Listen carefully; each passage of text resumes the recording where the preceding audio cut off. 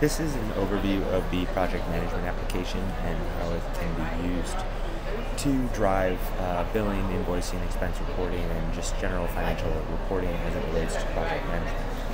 So the first thing you're going to want to look at is uh, products. That's what you're going to be selling. Services, consulting, fixed, and T&M. And if you drill into these services, here is where you define the invoicing policy, whether you're basing on what is ordered or a fixed amount. You can define how you're tracking those services here, or you're billing on a T&M or timesheets amount. Now, with that defined, then we can actually go and create an order. So this is where you'll see the integration, and we'll create a customer quick. John Doe Inc.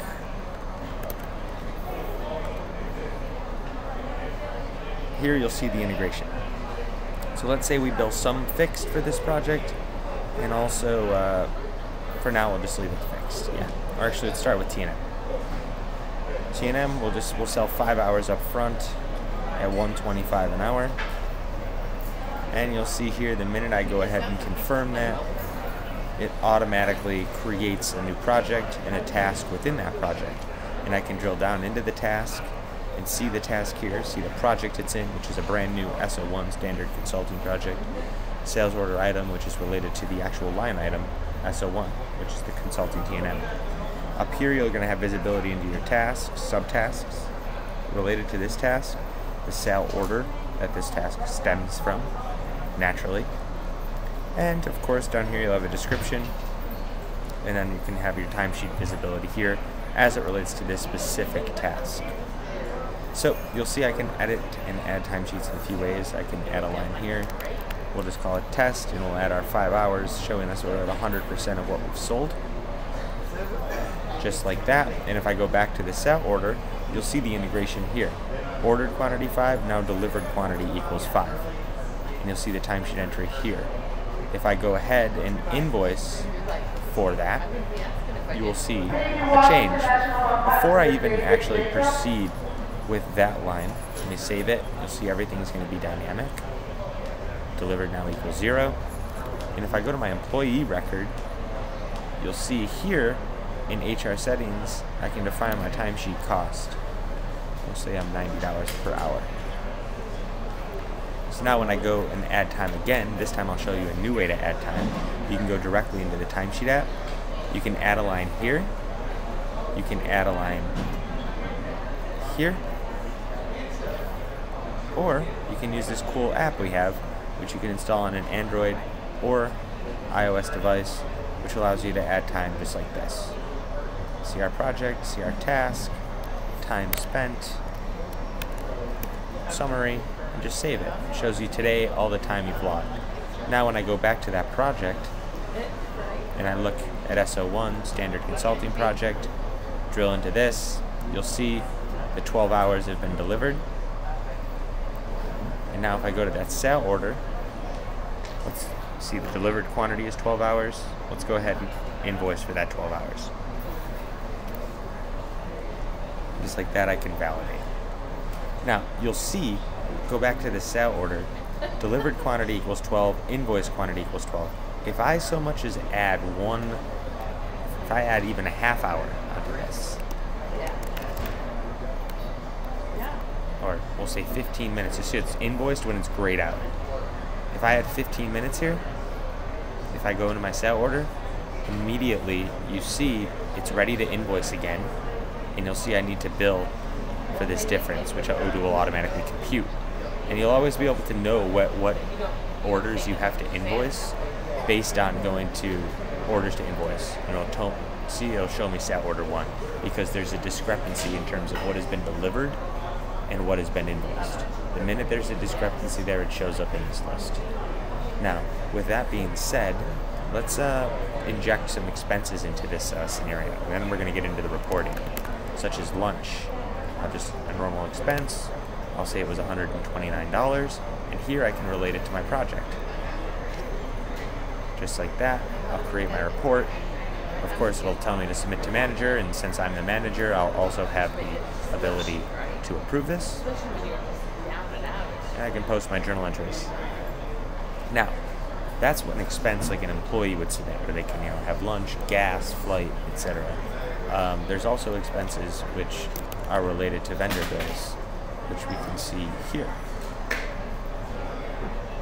So I can say I from uh, vendor X. Maybe it's some materials we use for the project. Um, just going to create the product on the fly.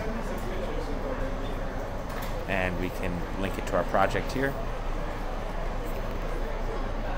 Just like that. And the minute we validate that, it's going to push it into the project. So, what, what have we done so far? We've invoiced the sale order. We've put some timesheets down on the project we've created an expense, and we've created a vendor bill. We've linked them all back to the project. Let's see what that project looks like from an overview perspective, right here. Right here we can see our, and this is important for you, I think, because you mentioned to differentiate between fixed and timesheets.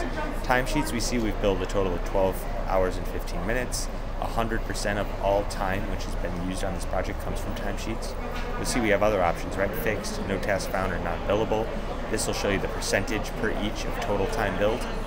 Here's profitability. See how much we've invoiced, how much we have to invoice, how much our timesheet costs were for all the labor you know involved on this project. Other costs, which include both your vendor bill as well as your uh, expense. And then, of course, I can always go into if I want to know the details of this, I can go into the analytic account, which is sale order one up here, and see my debits and credits and look at my cost revenue and see all the different line items here and their amounts and I can see how I'm faring on this project so far and I can see I'm negative $281 in the hole. You'll also be able to install budgetary positions here as well, which start and end date per line, a planned amount, which is what you intend to uh, spend, uh, or earn according to this particular time frame, a practical amount, which is um, essentially what you are trying, what your actuals are. Theoretical amount is what you should be at given the specific time, uh, given the specific date and time that you're currently at versus where you start and end. And then the achievement will tell you the percentage in terms of how you're trending against that, uh, that budget. So you may have a year-long project. You'd have 12 budgetary lines here uh, with a start and end date, one per each month, and then you have a planned and theoretical and actual amount and an achievement listed uh, across the across the board. And then obviously you see your project that this rolls into right here. You'll have all your documents, tasks, timesheets. So let's just go back here to the order, and let's say they want to add some fixed consulting onto this project. It's as simple as this. Uh, and I should notice, note here, I've had I set up that expense report to bill it back to the client, so it'll automatically add it to the open sale order associated with this client for this project. That's pretty cool, I think. Now for this, you'll see let's add uh, our fixed, and let's sell, you know, 35, 135 fixed hours. Save it. Just like that, if I go to my what I need to invoice, first off, you'll see when I added that, it added a task to the project. So now if I look at my tasks, you'll see I have one for fixed, one for T&M. And now if I go to my in orders to invoice, I'll see sale order one is there. And when I create my invoice, it's going to pull everything new that has been added to that order since I last uh, invoiced for it, which includes the 0.25 hours of consulting, the expense, and the 135 hours of fixed consulting. And once I validate this, it creates the invoices, and then I wait for my payment from the client. I can send the invoice out, receive payment online, wait for the check, wire, however I handle that. But if I go back here to the project overview, um, like that, now you'll see that for this, I have uh, some differences in terms of how I've set this up. So you can, uh, you'll see all of the, the financial aspect of it tied back into here. The way that you have to adjust this with the fixed is you need to make sure it's associated to the right analytic account when configuring the billing for the fixed uh, for the fixed cost. But essentially, what it does is it rolls everything up into your project, and this project is the same thing as an analytic account. This will show you your cost revenue. And lastly, another very cool feature is in the accounting app, you can actually go into your uh, journal items, by analytic account, save as favorite. We'll just call this an AA report. And then I can go to my settings. First, actually, I'm sorry, I need to be in debug to configure this. But I can go to the financial report just like this, P&L, and I can add my AA report here. And this will let me view all my projects across the lens of a profit and loss. So now I can see John Doe project through the lens of the P&L. Uh, and then if I had a bunch of different projects or if I wanted to do comparisons across periods across projects, you know, you'll be able to analyze all that data, which is very, very powerful. Uh, given that I work, you know, work for a PS company and I've seen my management you know, analyze different reports and projects and you know slice and dice data in very interesting ways. So, in a nutshell, that is how project management is going to work. Um, if you have additional questions or you want to see how all this stuff ties together, if anything that I've pointed out is unclear in this video, let me know and I'll be happy to drill back in and touch on anything that concerns you. Thanks so much. Have a great day.